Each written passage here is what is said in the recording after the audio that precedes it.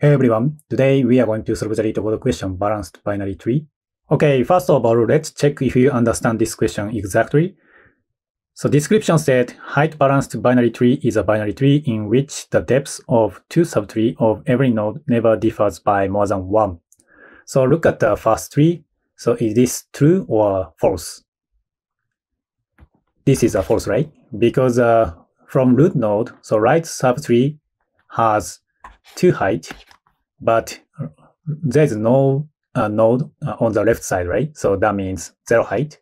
So this subtree and this subtree, so the difference is two, right? So that's why um, this is a false. And uh, how about the second tree? Is this true or false? So this is a uh, true, right? So left side has height 1 and uh, left side is height 2. So difference is 1. So this is a balanced tree. And uh, moreover, and look at the uh, inside of right subtree. So uh, from 20, so left side is 1, right side is 1. So they are equal, right? So this is a totally uh, balanced tree, right? So that's why this is a true. And uh, look at the third tree. So from root node, we have only left subtree. So this is height 1, but uh, there is no right side. So height is 0. Is this true or false? So this is a true because the difference um, between left subtree and right subtree is uh, just 1. So that's why true, even if we don't have right side. So how about the uh, last tree? So is this true or false? So this is, I think, false. So height of left subtree is 1, and uh, height of right subtree is 1, 2, 3. So difference is 2, right? So that's why um, difference is more than 1. Uh, that is false. Okay, first of all, let me summarize the point to solve this question. So first point is how do you handle null? And the second point is how do you calculate height difference? And the third point is what do you keep for the next recursive process? I'll explain one by one. Okay, first point is how do you handle null? Actually, we can see the answer for this question. So look at the example 3 in the description. So if tree is null, so the example 3 return true, right? So simply, we consider null as balanced. So null is nothing at current position and uh, both sides. So that means the fact that nothing exists makes the left and the right sides balanced. Next, how do you calculate height difference? So the description said a height balanced binary tree is a binary tree in which the depths of two subtree of every node never differs by more than one. So look at this tree. So left subtree, height of left subtree is one, right? And the height of right subtree here is two, right? So since we need to know height difference, we have to subtract left and right heights. So for example, if we calculate right minus left, so 2 minus 1 equal 1. But um, there is a little problem. So there is a case where um, left height of left subtree is higher than height of right subtree.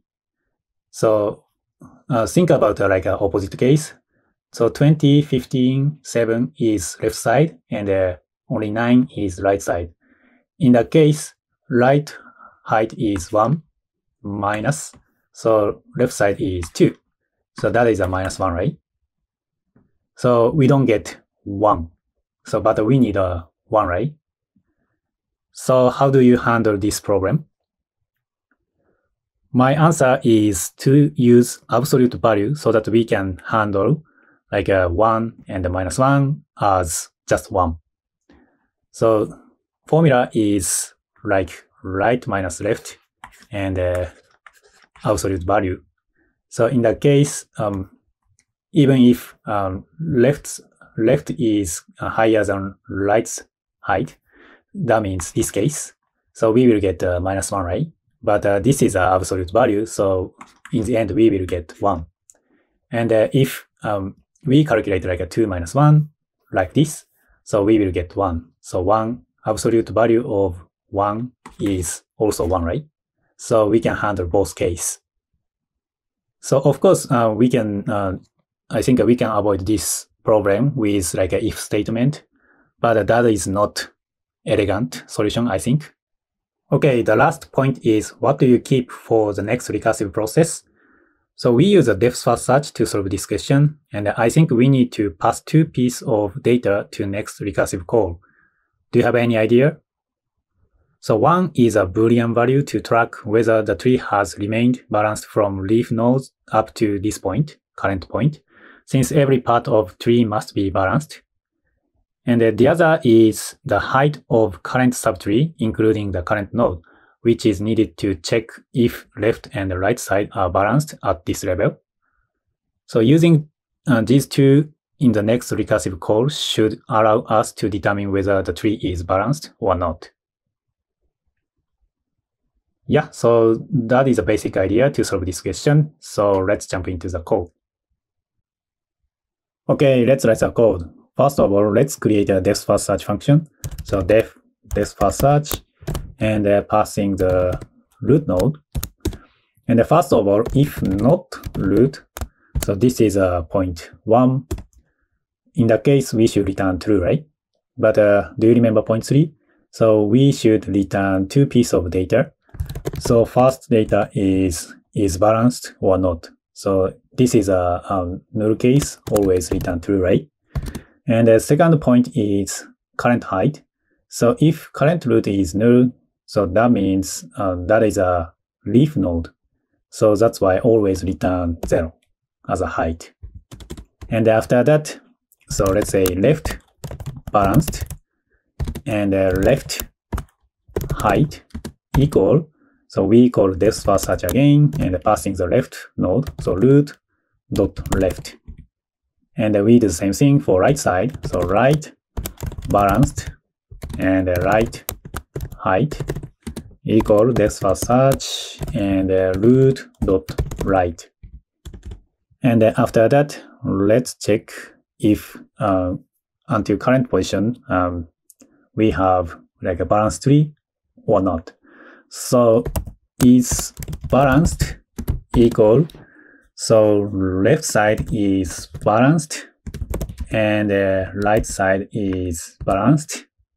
And uh, so this is a point two. So we use a absolute value. So absolute. And uh, in the previous section, uh, I explained like a right minus left, but uh, you can put left minus right because uh, we use absolute value. So it doesn't affect the answer. So left height minus right height and less than or equal 1. So if uh, three cases are true, so is balanced is true, right? And then after that, return. So uh, we return two pieces of data. So one is is balanced, and the second data is height, including current um, node. So that's why we need to plus one plus we take a max height between left height and right height. And then uh, we call this search from outside. So this search and passing the root node. And then we need uh, like a true or false. That's why we need a index zero.